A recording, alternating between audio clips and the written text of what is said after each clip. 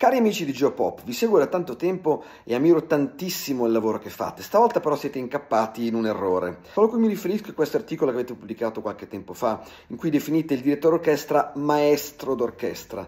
Ma ragazzi, il termine maestro d'orchestra non esiste in natura, cioè non troverete mai scritto da qualche parte che Riccardo Muti è un maestro d'orchestra, o se dovesse trovarlo sappiate che è un errore.